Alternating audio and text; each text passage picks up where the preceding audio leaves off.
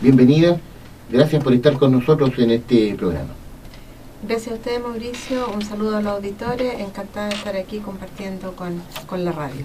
Oiga, Seremi, vamos a partir por un tema muy reciente que, que, es muy porteño y un tema que interesa a nuestros auditores, que eran todas estas novedades respecto de la caja de crédito prendario, la, la tía rica, que ha sido motivo de muchos comentarios en las redes con el fin de que los porteños, en este caso, puedan acceder a, a mejores créditos, a programas más beneficiosos, a que la joyita que dejan tenga ahora un mayor retorno en billetes. Eso es sin duda un, un tema muy importante y ahí ustedes como Ceremi del Trabajo están absolutamente involucrados, Ceremi y Lavín Ceballos.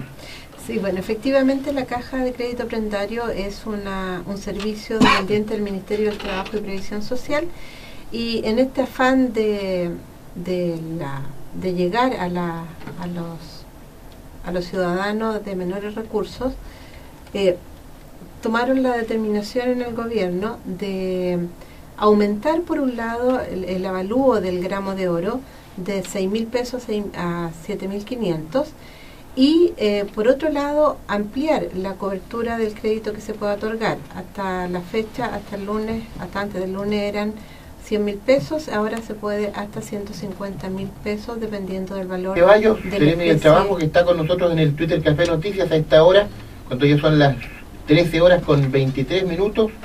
Seremi, el tema de el desempleo en Valparaíso históricamente en nuestra zona ha sufrido muy fuerte este flagelo en el último tiempo, al igual que las cifras a nivel nacional, se ha logrado disminuir. ¿Qué es lo que falta por, eh, para tener una mejor situación laboral en nuestra zona, Ceremi? ¿Qué es lo que se está trabajando a nivel del Ministerio del Trabajo?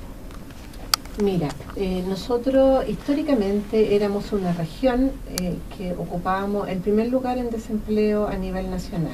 Medalla de oro, ¿eh?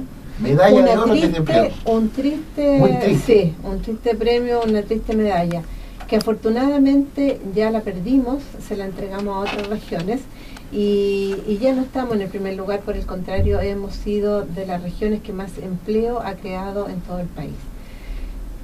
Valparaíso puntualmente, la comuna de Valparaíso también históricamente es una comuna que tiene un fuerte desempleo. La justificación de esto es porque eh, la región en general y, y, estas comunas en particular, Viña del Mar, Valparaíso, son comunas atractivas, entonces tenemos mucha población, llegan muchas personas. Pero, como digo, también tenemos la fortuna de ser una región que es muy rica, muy rica en todas las actividades y en de la educación recursos. formal que han abandonado sus estudios, que no tienen un título técnico o universitario. Esos son los jóvenes que nos está costando ubicar en el campo laboral. Y también las mujeres, las mujeres de toda edad. ¿Por qué? Porque en Chile eh, la incorporación de la mujer al, ámbito laboral se ha ido produciendo de manera muy lenta. Somos de los países que menor inserción laboral tenemos de la mujer en el mundo del trabajo. Entonces, eh, ese es nuestro sector al que estamos apuntando. ¿Cómo lo estamos haciendo? Fundamentalmente a través de la capacitación. Porque en la medida que nosotros otorguemos capacitación a este grupo de, a estos grupos de personas, vamos a poder eh, posibilitar que ellos se incorporen a los trabajos que se ofrecen. Porque tenemos actualmente una situación muy particular que nunca antes se había dado. Y es que se ofrezcan más trabajos de los que están las personas disponibles para ocuparlos. Nosotros tenemos, te voy a poner un ejemplo bien concreto, en la feria laboral que hicimos en La Calera tuvimos más de 7.000 puestos de empleo y sin embargo en La Calera tenemos eh, más de un 9% de desempleo. ¿Cómo se explica esta situación? Se explica porque las personas que están sin trabajo no tienen las capacidades o las habilidades eh, para entrar a estos puestos de trabajo que se ofrecen.